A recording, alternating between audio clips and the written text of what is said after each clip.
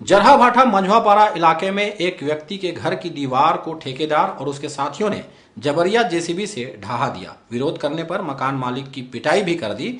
Civil line police ने ठेकेदार और उसके साथियों के खिलाफ अपराध दर्ज कर लिया है। जरहाबाठा मंझवापारा में शैलेंद्र मसीह का मकान है और मकान के सामने आहाता है। उसके मकान के पास ही ठेकेदार अतुल शुक्ला का ऑफ़िस है। ठेकेदार अतुल शुक्ला ने शैलेंद्र मसीह के मकान की दीवार को सरकारी ज़मीन में होना बताकर अपने साथियों के साथ जेसीबी से जबरिया ढहा दिया। शैलेंद्र मसीह ने जब इसका विरोध किया तो उसकी पिटाई भी कर दी जिसके बाद घटना की रिपोर्ट पर सिविल लाइन पुलिस ने ठेकेदार अतुल शुक्ला संदीप मसीह और उसके अन्य साथियों के खिलाफ अपराध दर्ज कर लिया है।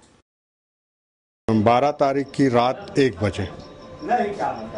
मेरी दीवार को, बाउंड्री वाल को उन्होंने बिना किसी परमिशन के, बिना पूछताछ के करीब सौ, डेढ़ सौ लड़कों के संग आए और तोड़ना शुरू किया।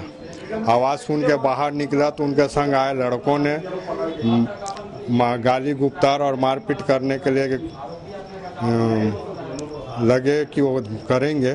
तो मैं डर के मारे अपने पड़ोसी घर चला गया। वहाँ से मैंने और शैलेश मसीह ने पुलिस को फ़ोन किया।